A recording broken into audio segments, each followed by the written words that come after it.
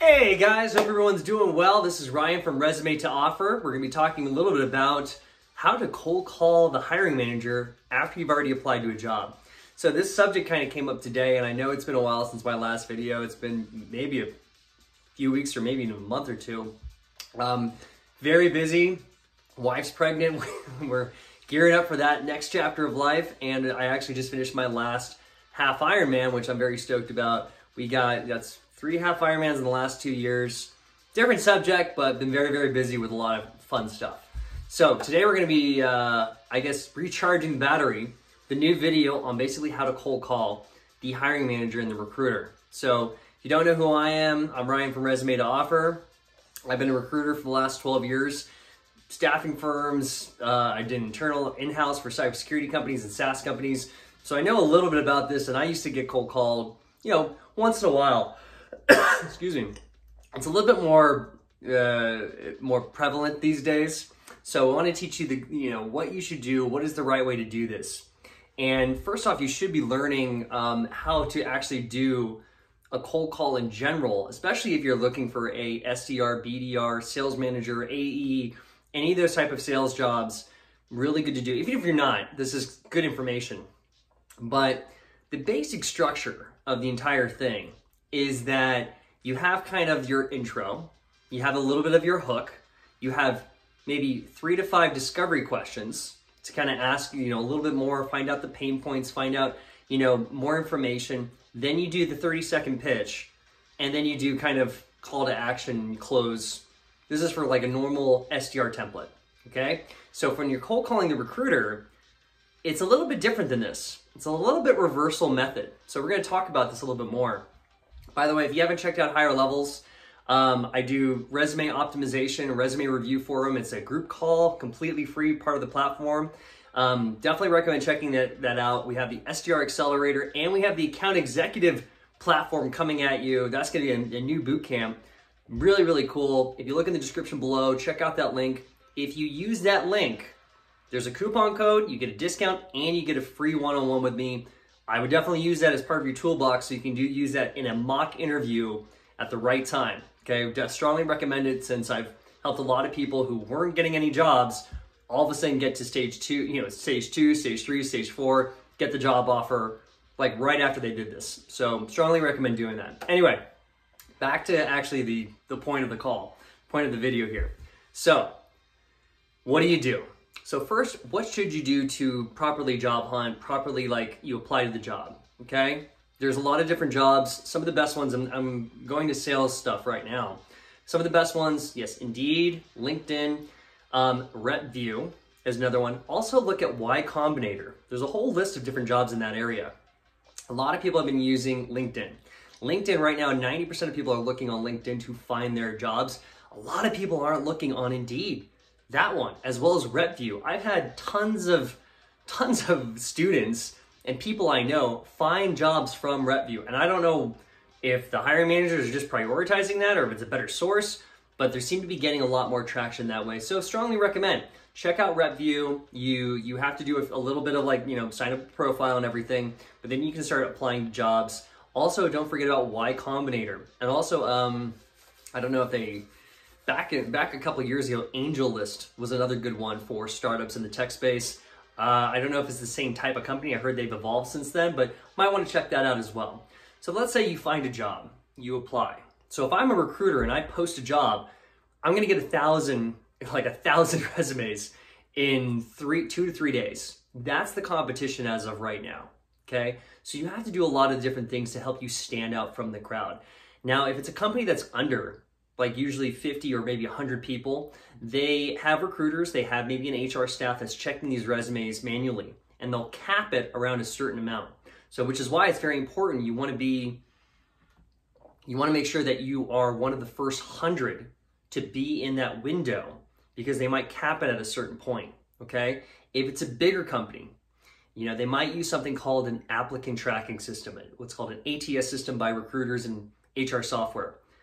Five years ago, 5% of all companies were using AI technology to kind of weed people out. Now it's 40%, which is why you should make sure that you have your, your resume is optimized, what we call ATS optimized. It has specific words in the resume embedded in it that will give it a ranking. Okay, very important to know about. It'll give it a ranking, and you so if you say like a thousand resumes go into the pipeline, okay, the ATS is going to pull out certain things, give it a score, and only pop out maybe the top 50, top 100 resumes that are going to get in front of the recruiter. So that's why it's very important that you have it optimized. If you don't, there's a, a video I've done on this channel about how to optimize your resume. If you need a little bit more specific, I would strongly recommend either you can hire me for a one-on-one, we go through the entire thing, I can point pinpoint it all out, or the second thing is you can join higher levels, use that discount code, use that link, and you'll get a free one-on-one, and then I do this also on the resume reviews on those. So strongly recommend you make sure that your resume is ATS compliant and optimized. Otherwise, I don't want to have to tell you how much time you might be wasting. Okay? So, let's say you apply, you find the perfect SDR role, sales development role. There's a company that's between 200 to 500 people. You just applied, and there's a few ways you can do this. Okay? So, sometimes it'll have the person who actually posted the job, you know, portal. Okay? It actually has them a lot of recruiters, about half of them, actually have their information on the on on their LinkedIn page. They want people to contact them. Okay? So they might have their email, they might have their LinkedIn, you know, they might have their phone number. If they have a phone number, that's really good. Now there's a lot of ways that if if it doesn't have the right person on the job board, you can explore the company. Smaller companies, it's a lot easier to pinpoint who's probably doing the posting, right? It could be the sales manager. It could be if there's a recruiter or talent acquisition manager, obviously they're doing the posting. Usually in companies that companies that are below 200, you can easily find out who it is. When it's a company that's like 10,000 people, it's a little tough. It's a little tough to find out kind of who did it. Um, so that's why sometimes it's good to focus on companies that are between 100 to 500 employees so you can pinpoint actually who the actual talent acquisition or hiring manager or sales manager is so that you can actually call them directly. So how can you find out, you know, their information? Either they post it on LinkedIn. Sometimes you just do a Google search, you might actually get lucky. But you can also use different apps out there. There's Hunter.io, Apollo, um, Seamless, ZoomInfo. Seamless is one of my personal favorites. You know, one of the guys on our on, on our uh, GroupMe was actually having an interview with Seamless today, which was awesome. Good for him. But you want to make sure that you're using one of these things so you can find out the actual information of the person. And some of them are available for free download. You can get a trial version. It's good to do it when you're in real job hunting mode to do a trial version so you don't have to pay for 30 or 60 days. You know, that's a, a really good way to go. So let's say you have all the information. You have an optimized resume. It's going through the ATS you know, system you um, have the information, great. Okay, you can now cold call the recruiter. Cold call the recruiter. How does it go? There's a few ways that you can do it. So, you want, I prefer, this is my professional method, but when you first call them, um, it's good to use a bit of a permission opener. Okay, permission opener is a little bit like you like you call them up, ring ring, hey Jack, this is Ryan. Hope you're doing well. Just wanted to give you a quick heads up. I actually applied to your new SDR role. Think I would be a really, really good match. Do you have a quick two, three minutes? I'd love to tell you a little bit about myself, why I could be a win-win for your organization. Okay? Something along those lines. Permission opener is asking for permission so that they don't hang up the call, as well as how to get their attention. Okay? How do you get their unlimited attention, their undivided attention for the next five minutes? Okay? And I'll be honest, I've had people do this to me and I'm like, I respect it. I appreciate you being forthcoming about it. All right, you have my attention.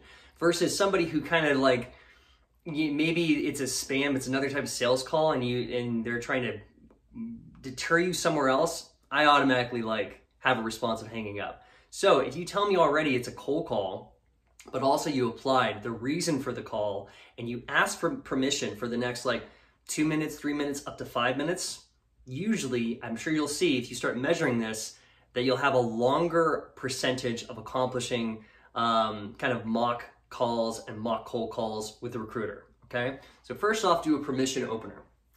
Second thing is, you know, once you gain permission, Great. You're like, I'm like, hey, perfect. Thank you so much. So I, I want to respect your time. You tell them a little bit about why you like the company. Okay, so that's the first thing. Do a little bit of flattery, but it has to be realistic. It has to be congruent. It has to actually like make sense. So, you know, something about the company, it could be, hey, I like what you guys are doing in the industry. It could be the product service line. It could be the company culture. It could be the role itself and, and kind of like where you want to go as, uh, you know, in your future. Could be the leadership is another big one that a lot of people don't realize. If you like the leadership of the company, but something about the company that's like, hey, this is the reason why I want to join you guys. A little bit about myself. You give your one minute elevator pitch. Okay, I mean a minute. Time yourself and practice this over and over again. What makes you the best one? And you definitely want to mention okay, some of your background, if you've done sales before or communication or customer service, as well as if you've done any type of sales tools, if you've used LinkedIn Sales Navigator or HubSpot CRM or any of the other ones, this is the part where you want to mention it. Then afterward, you ask some questions. You ask some basic questions. Making sure I'm getting notifications. By the way, today instead of coffee, I decided um, smoothie. So get staying healthy.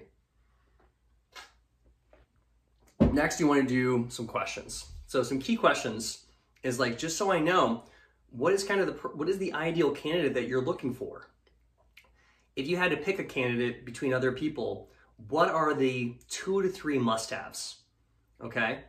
Based on everything I've said right now, how do you think I match up with, with kind of the candidate you guys are looking for? Right? You want to ask two or three questions. Same thing when you're doing an SDR role. Um, you ask discovery questions. Those three questions or variations of them, those are your discovery questions. So again, you do a permission opener, um, you do something about the company that you actually are like, here's my reason, here's my why. Then your elevator pitch, then a few different questions to open them up, ask them questions, keep them engaged, and also find out how big the gap is. Okay, how big the gap is before the ideal candidate, ideal candidate, and yourself. Okay, after all that, I'm sure you've gotten them a little bit interested, then you can go like, hey, I want to respect your time, but you know, wanted to connect, even if it's not a fit for now. I would love to be, you know maintain a professional relationship for now and the future, but would love to obviously, hey, I know this is a bold statement, but fortune favors the bold. Would love to see, hey, can I make it to the first round and prove myself? I think I can do a good job with your company and be a great fit for you guys. What do you say? Okay. That's a little bit of the bolder one, but it's true. They like hunters when it comes to salespeople. There's hunters and farmers. You know, they're looking for like kind of that 80% hunter mentality. So if you can let them know and close the sale, that's a great way to go. So make sure to, at the end of the call, ask to go to the next round. Okay? Next round could be either, you know, hey, I'd be, I'd be happy to jump on a video call with you so you can see me and we can like kind of make this a, a formal interview or I'd be happy to do a mock sales call with you guys. Which one works best for you? So that's kind of the structure that I would recommend that you approach that you use. Um, and yeah, I think you can yield some good results. If I look at kind of this statistic, I'm tongue tied today. If I look at the statistics of people that are applying to jobs right now, we are seeing a lot of people who are using different methods. Okay, if you are just applying, especially the easy apply, uh, you are getting lost in the wasteland. If you are messaging the recruiter with a LinkedIn message right afterward. That's better. If you're emailing the person and a LinkedIn, LinkedIn message, that's better. If you're doing a video, you know, a voice memo to them, that's even better. But if you cold call, those are having the highest percentage of success rates. Okay. How should you do this? So I would recommend kind of do it in cadence. You apply to the job and then maybe like an hour or two hours later, you give them a cold call.